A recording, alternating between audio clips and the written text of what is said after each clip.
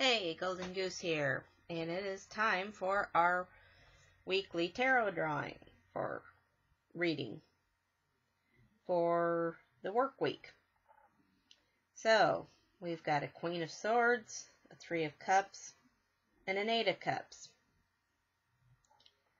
Okay, Queen of Swords tells me that you're feeling pretty confident this week, that you're going to be feeling pretty independent and, you know, some, you know, pretty sure of yourself.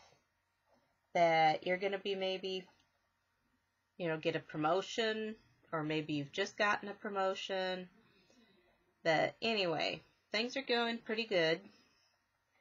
And you're going to be celebrating with some coworkers this week. And, you know, just getting together and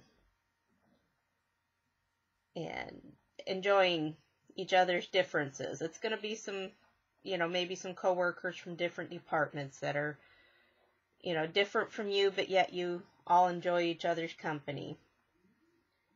And then our Eight of Cups down here is telling us that, you know, that things are going pretty good up here, but you might need to, you know, take a look at changing directions or have a change of heart about something at work that you know this week it's going to be going good but yeah somewhere along the line you're going to have a change of heart about something. And maybe moving move into a different direction or a different department at work. But anyway that is our work week reading for this week and we'll talk to y'all later. Bye